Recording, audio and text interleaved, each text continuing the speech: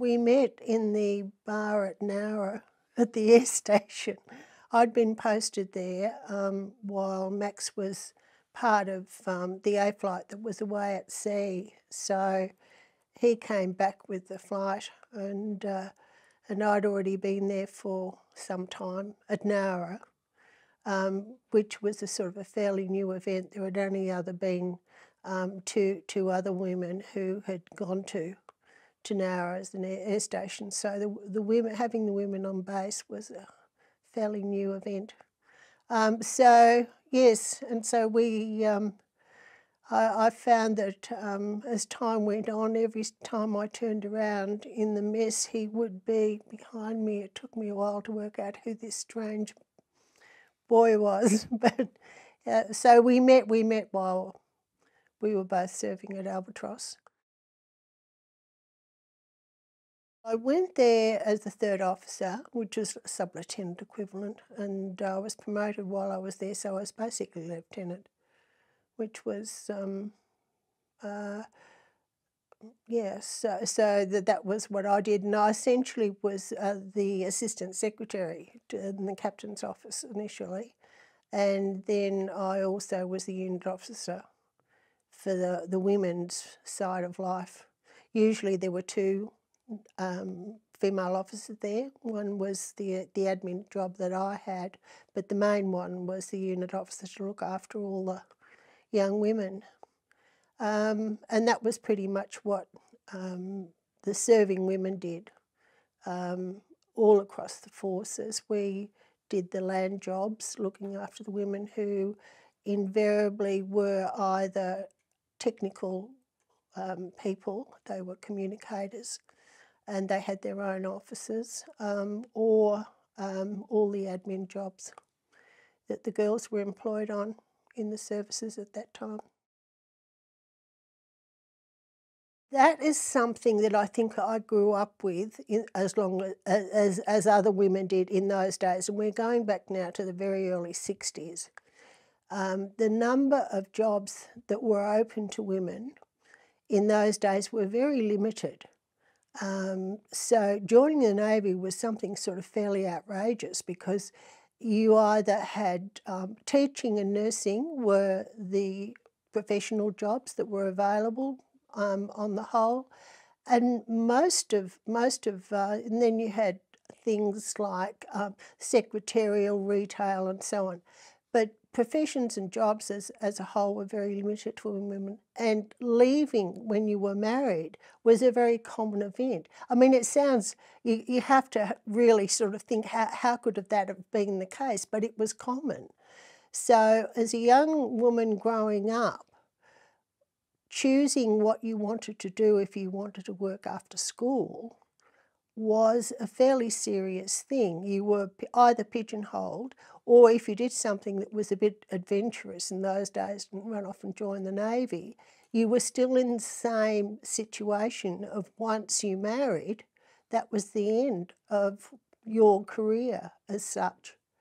It, it was common, so you grew up knowing that was going to happen. Um, it didn't make it any easier.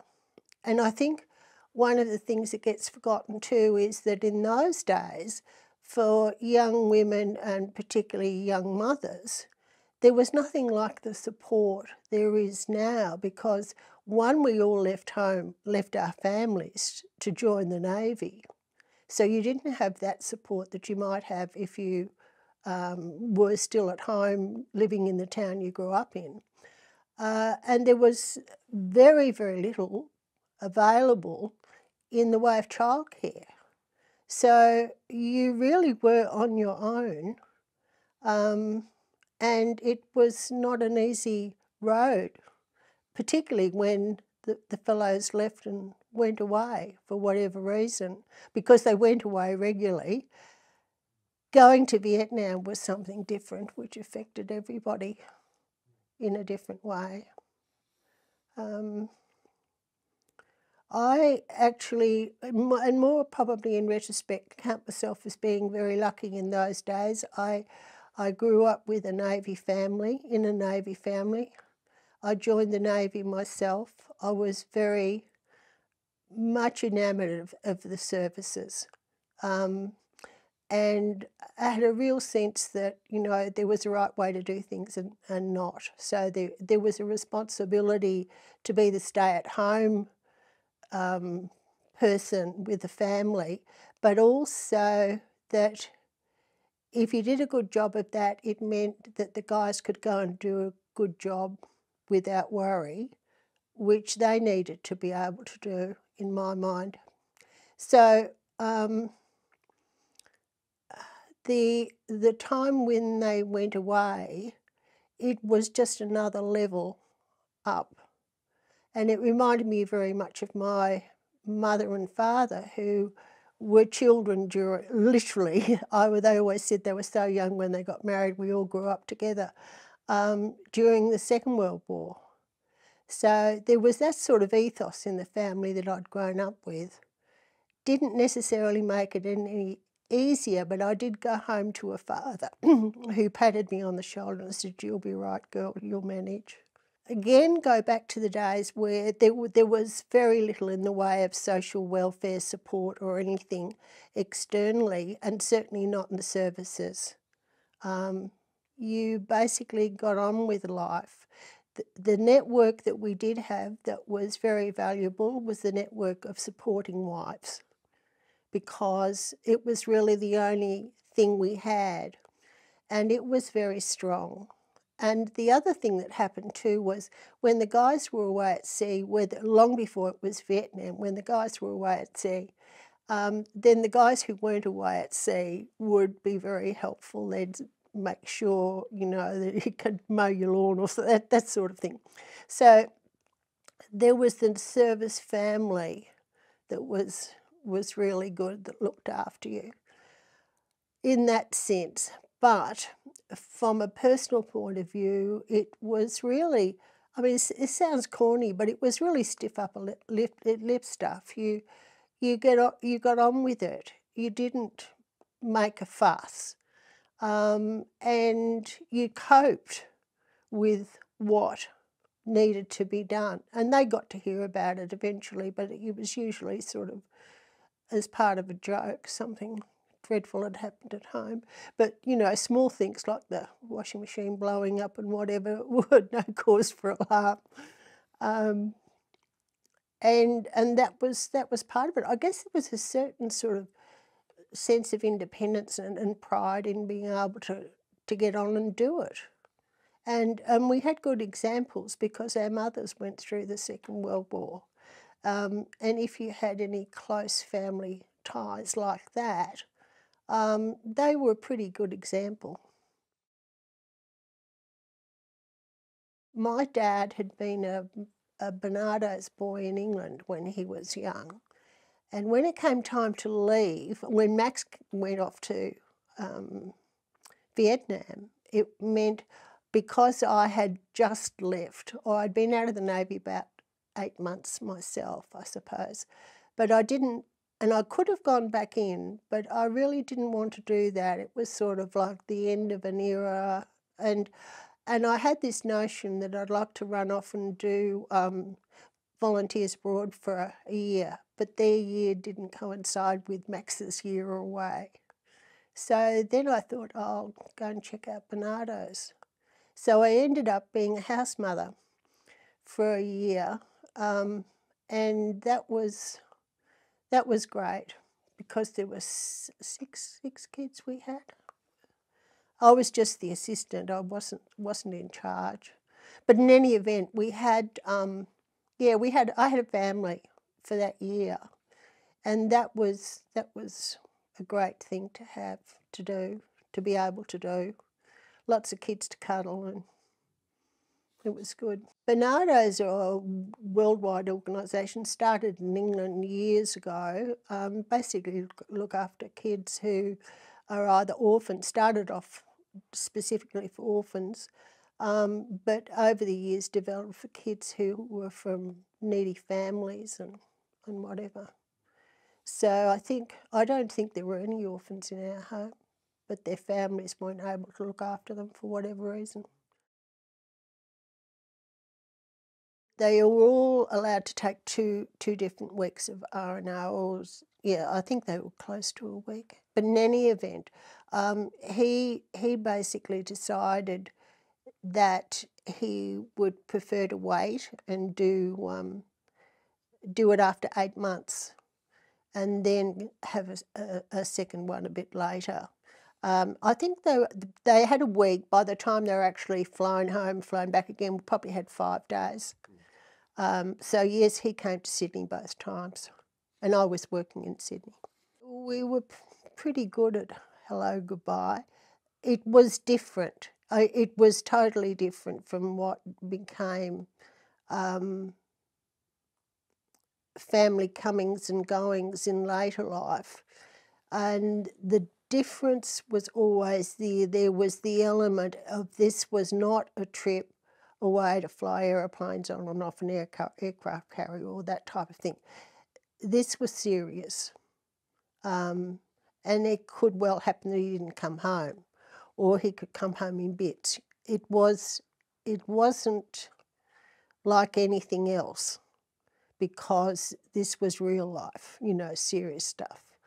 Um, and and this is where I think I appreciated my father because he we didn't talk about it in, in massive detail and we didn't need to because he knew as well as I did that that was the underlying thing.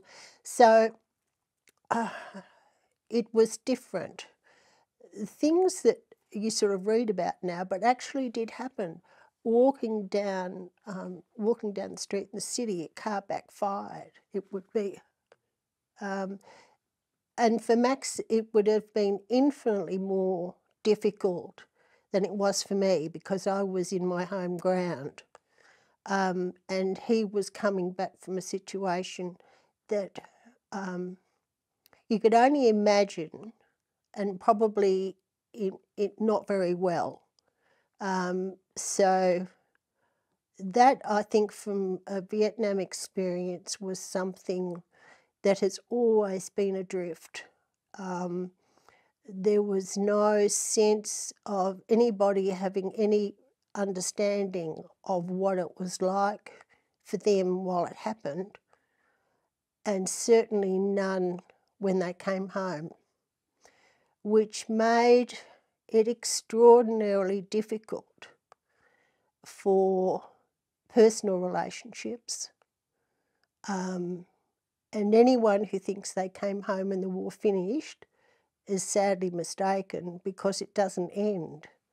And talk to their children and they'll tell you the same. It doesn't end.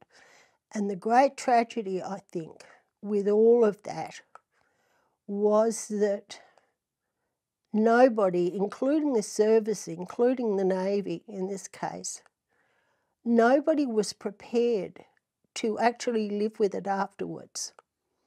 Um, and they still aren't. The only people who write about it are academics or people who were actually there. And the trouble now is so much water has gone onto the bridge that a lot of the damage, personal damage, that happened could have been avoided if based on everything that was learned during the First World War, particularly, but also the Second World War, about how do you treat people when they've been to war and they come back into normal life, if there is such a thing, and how do you prepare families to be to be able to deal with that, but also to be practically of some use. We are terrible at it. As a civilization, we don't, um, we don't learn how to die very well, but we certainly have no notion of how to deal with um, the people who actually go to war. And if we had, then you would find that those poor souls who finished up the, in um, Afghanistan they wouldn't be having anything like the trouble that they are now because we still don't know how to deal with it. Or if we I say we don't know how to deal with it, we don't prepare to deal with it. So, um, how did we deal with it in King's Cross for a week? Probably not very well. As an aside, our son, when he was still in the army, um, he went to Timor when that kerfuffle was on. Um, and we were astounded that this gorgeous sounding young woman came on the phone from Sale. Um, and she said uh, she was from the family um, care, care unit, basically. And, and we had um, a son, uh, you know, going to Timor. So she just wanted to check in and say, would we like to go to the morning tea that was being put on for all the, the relatives? Um, and would we like a care package and all this sort of thing. And I'm sitting there at my desk working and I'm listening to this lovely young thing on the phone. And I'm thinking how things have changed. Um, and I mean, that was a long time ago now, obviously. But it was such a departure from anything that we had ever experienced. So I felt like clapping and giving her a cuddle. And it was really funny because not long after, um, a package arrived and it was a, a, package designed for children. It had pencils and a, a, a drawing book, for colouring book in it, like uh, would daddy's in his outfit and he's off to wherever he's off to. And yeah, so there's obviously lots of things have changed if you're a family from when we were young things, which is, you know, a good, uh, a good, good to see.